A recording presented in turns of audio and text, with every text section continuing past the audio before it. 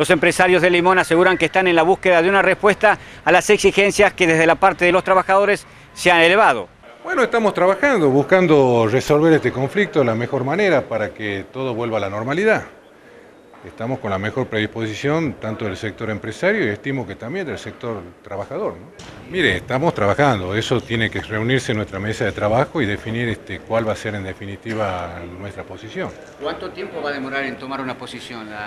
Y esto tiene que ser cuanto antes, lo más rápido posible, porque hay que resolver este conflicto en el menor tiempo posible. ¿Qué ha pedido el gobierno de la provincia? Esto, que trabajemos en el diálogo y que terminemos de solucionar esta situación en forma digamos, dialogada y en, un marco de paz y trabajo. ¿no? ¿Qué margen económico tiene la entidad para satisfacer los reclamos del sector? No, estamos complicados, no, no nos olvidemos de que estos números son muy difíciles de convalidar teniendo en cuenta de que, bueno, este, todo está afectando el proceso productivo y el proceso, digamos, de este, rentabilidad normal de las empresas. ¿no?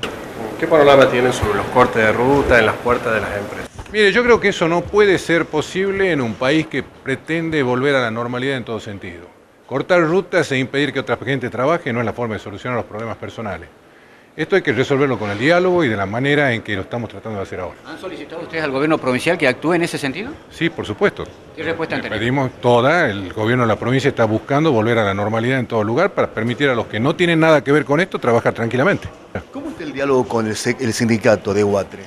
Mire, hasta la semana pasada el diálogo era normal, lógico y dentro, digamos, de las pautas de trabajo. Esto se ha enrarecido en estas últimas 48 horas. ¿Se había llegado a un acuerdo preliminar ya? Había un acuerdo preliminar, sí, claro, claro que sí. ¿Que llegaba a qué porcentaje? Al 29%. ¿Y qué pasó en estas últimas horas? Bueno, hay un rechazo, aparentemente ciertos sectores no lo, no lo, no lo convalidan y estamos en esa, en esa situación.